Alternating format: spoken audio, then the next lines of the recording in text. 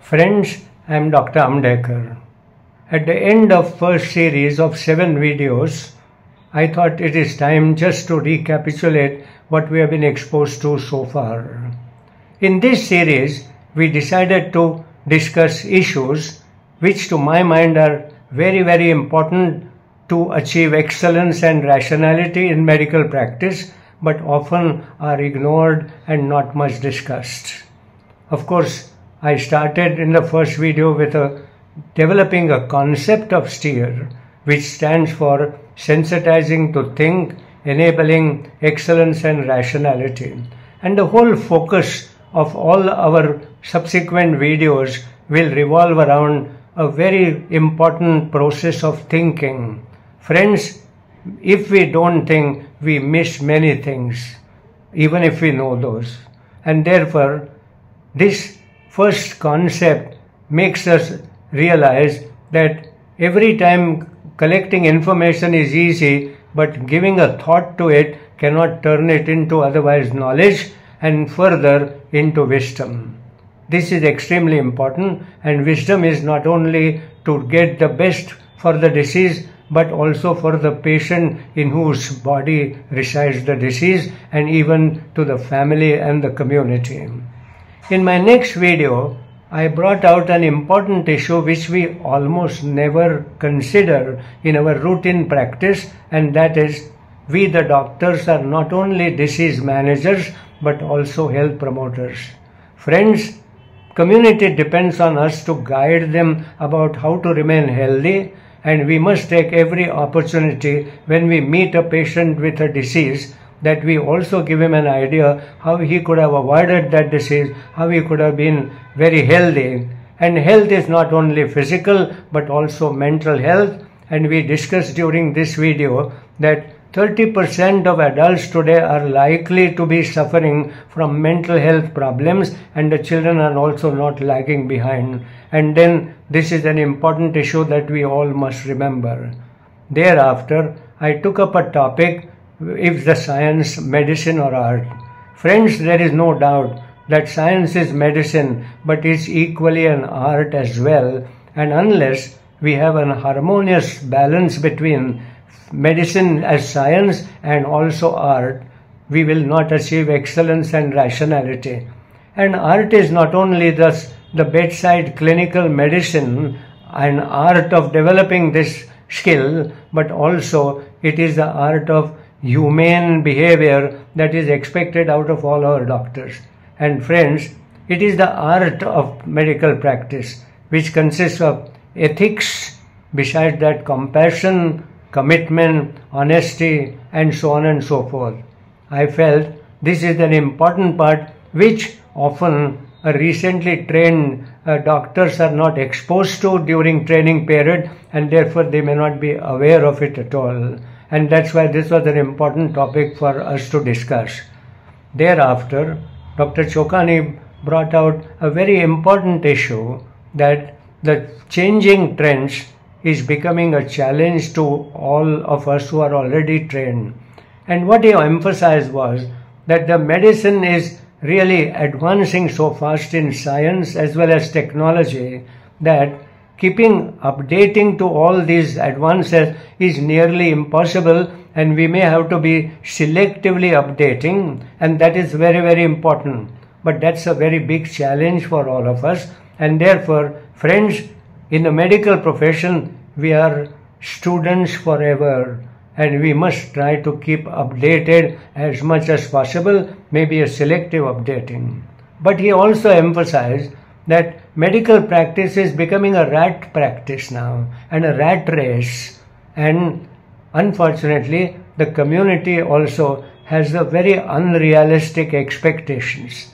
This has become a challenge we on one hand every doctor wants to do his best but the community also must understand that science of medicine has limitations and the outcome of any management by the doctor also depends on a factor how patient responds to his management and that's why this is an important topic for all of us that this has become a challenge at present during medical practice thereafter I discussed about an important part of our medical practice and that is communication and counseling.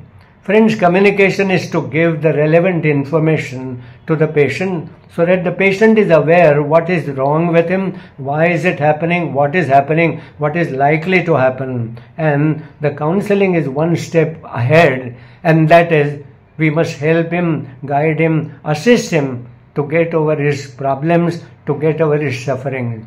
Unless we spend time in communication and counseling, we do not touch the mind of the patient.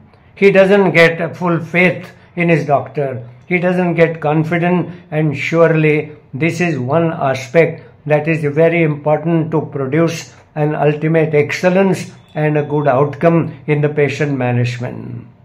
Having given these aspects, thereafter we got Dr. Palni Raman to discuss about another issue which we often ignore and that is early life origin of adult diseases.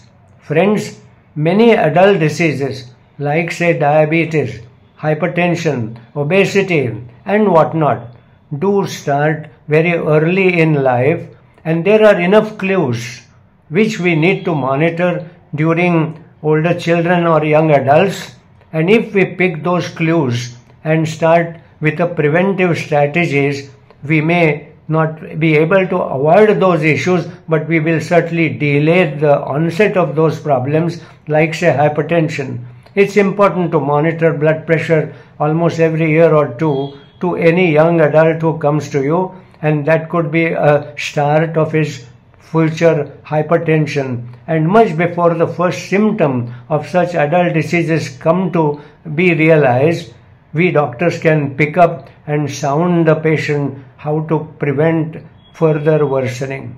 This is an important aspect which we all must give really a credence to it. And thereafter, Dr. Anjali Gokarna talked further narrowing down this early life origin to first thousand days of life. What are these first thousand days? Through the pregnancy, nine months, and thereafter first two years. They together make 1000 days.